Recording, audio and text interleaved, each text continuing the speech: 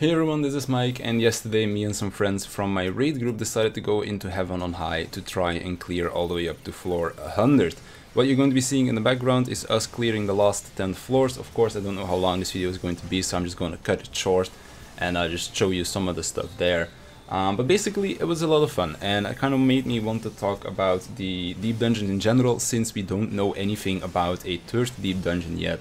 And if so, if it's going to be there, where I think it might be.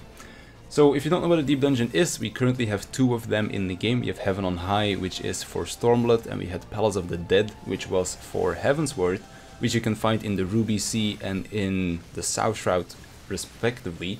Um, and the way it works is very simple. So you go in with a random party. You can go, of course, with some friends in like a pre-made party. You can go solo, or you can go into a duty finder party, I guess you could call it and your restrictions don't matter. You don't have no normal party restrictions. You can go in with 4 DPS, a tank, 3 DPS, 3 healers and a DPS, and a, or like 2 healers, a DPS, a tank. Doesn't matter at all. You can queue in with whatever you want to play.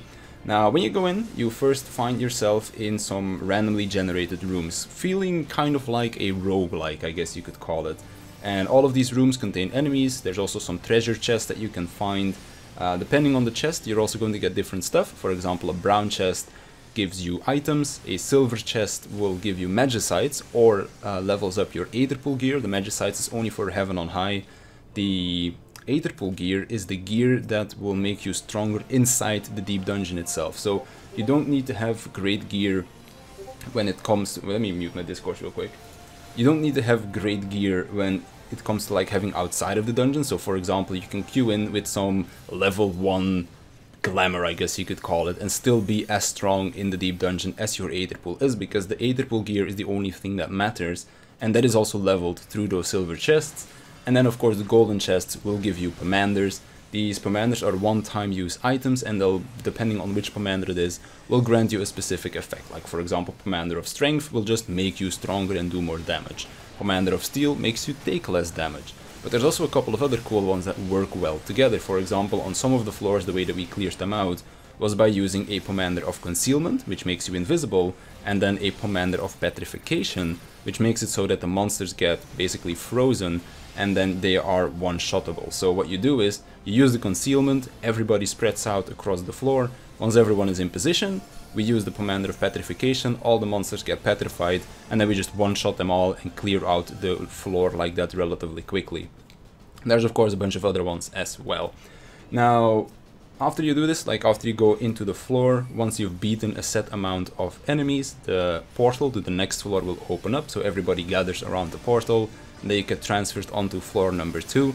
Do this 9 times, so you clear 9 normal floors, and then the 10th floor will be a mini boss. And then once you clear that one, you have finished your set of floors and then you can choose to either reset or keep going further down into the Palace of the Dead or further up into Heaven on High until you reach that highest floor of which is 100 for Heaven on High and which is 200 for Palace of the Dead.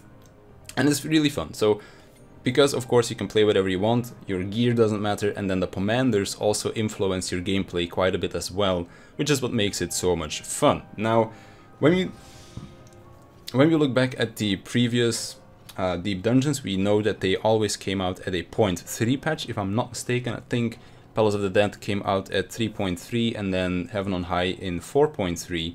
And then of course we're going to have 5.2 come out relatively shortly, meaning that in about 3 months time we're going to be getting that 5.3 patch where we can expect an ultimate and some other piece of content as well, because ultimate is probably kind of going to be like the big piece of content when it comes down to the raiders, but for the other people in 5.3 we're most likely going to be seeing some other piece of content as well, out next to a dungeon of course. So for me, I'm thinking it's going to be the next deep dungeon. Now they haven't said anything about it just yet. Of course, when we went into Stormblood, what the next deep dungeon was going to be and whether or not it was going to be there was quite obvious. They said they they thought that Palace of the Dead was a really successful piece of content, so they wanted to make another one. And then as soon as you set foot into the Ruby Sea and you see this gigantic spire of like different rooms stacked on top of each other, you can kind of guess, yeah, that's probably going to be our next deep dungeon. It also has a nice contrast, like Palace of the Dead went down into hell, Heaven on High goes up into heaven, so it was kind of cool, um, like lore-wise as well. But when we go into Shadowbringers, they actually haven't said anything yet about wanting to do a third deep dungeon. I personally think they will do it because of the success that both Palace of the Dead as well as Heaven on High has brought. Seeing also how they are changing the beast tribe into a more crafting and gathering focus, like for example the second beast tribe we're getting in Shadowbringers is going to be for gatherers only, meaning that there's going to be like quote unquote less ways to level your combat classes outside of of course roulettes and stuff like that. And of course since the deep dungeons have always been the premier way to level your combat classes as well because it's just really quickly to clear out the 10 floors that you can kind of farm which was floor 50 to 60 in Palace of Dead and then 20 to 30 in Heaven on High. It just goes really fast and gives a really good amount of experience.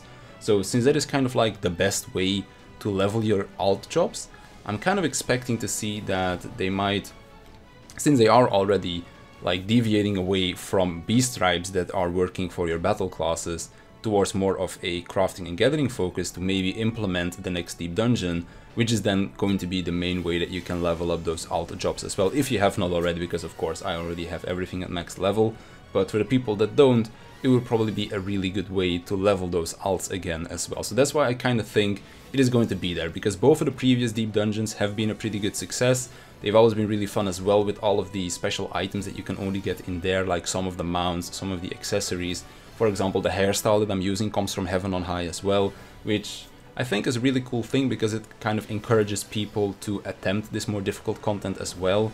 Um, of course, I'm not saying that it's super difficult, but when it comes down to being able to solo it, it is one of the biggest challenges in the game so far. I think there's only been a handful of people that actually managed to solo Palace of the Dead. So, and that's content that's been out for like two years at this point, if not longer. So, I think that's really cool stuff that is there for people that really want that challenge or that solo challenge because most of the content in this game, or at least the challenging content, is all 8-man content and now we actually have some challenging 4-man content as well as being able to solo it uh, is really cool as well for the people that want that challenge of course. And then having all of the cool glamour stuff like the mounts, like the hairstyle and all of that kind of stuff attached to it as well is something I think is really good. Because for example, in yesterday's run, I got four Sephiroth weapons, like the crafted versions of the Sephiroth weapons with the cool glow, which I can now sell and hopefully make some good money out of as well, because they go for about 200k on my server. So it's really fun to not only do, but also to get some glamour out of it, maybe make some money as well along the way, and just a really cool experience. And I think that going into Shadowbringers, they could make one as well. When it comes to where they would make one, of course we don't know.